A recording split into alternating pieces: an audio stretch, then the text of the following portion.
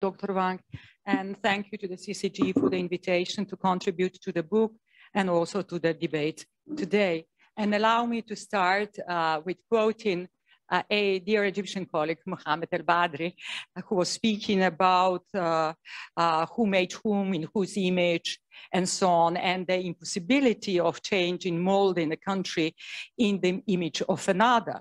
Since I belong to the, to the half of the humanity that was not even created in an image, but from a rib of a man, I can tell you that that, uh, how to say, uh, I do not have that impetus to change somebody so much, uh, very well developed. So second, I'm also represented a small European country, a small European country, which by the definition is on the margins of power. When you are on the margins of power, and sometimes you are at the center, sometimes and hopefully not too often of the geopolitical conflict, then you really look to the word and to the issues from a different perspective.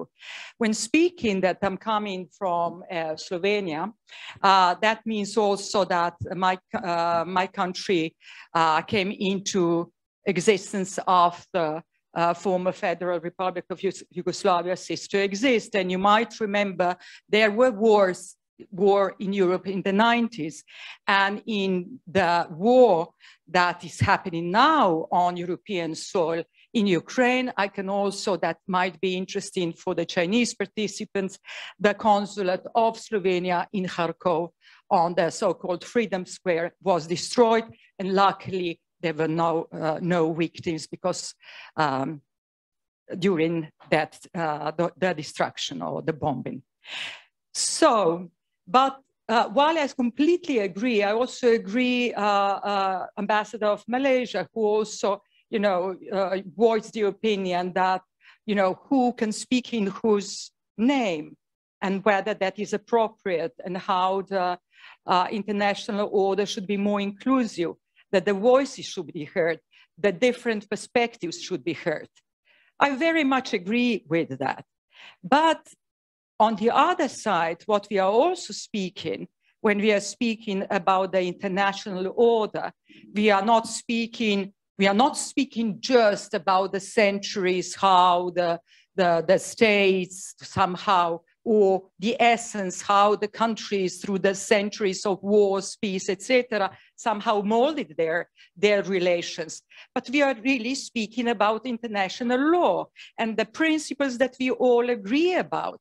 One of those principles is the sovereignty, the uh, territorial integrity, and that is blatantly violated. So when we speak about the war uh, in Ukraine, we also speak about the UN Charter and the principles of UN Charter. Uh, we, we speak about the wide, wide consensus. And at the same time, uh, I would say also, uh, you know, a lot of the uh, speakers before me already mentioned the role of China, the China being P5 member being a major country, being a global economic power. That is why the, the eyes of the world are turned towards Beijing. And I do think that Beijing does understand, and that is the principle that is always stated, the sovereignty, the equality of sovereign states and territorial inviolability. But to stop what is happening now, shared responsibility, as Basil said, and shared work needs to be achieved to stop the bloodshed now. Um, and frankly, mm, I also wanted to echo what you mentioned, Dr. Wang, and it's truly so, why there is a particular place for Beijing today, because it has a solid partnership with Russia on one side and with Ukraine on one side. I think that just last year you celebrated, China and Ukraine celebrated 10 years of bilateral partnership agreement. It is important. And that is why, uh, that is why the eyes of the world are actually directed towards China. Thank you.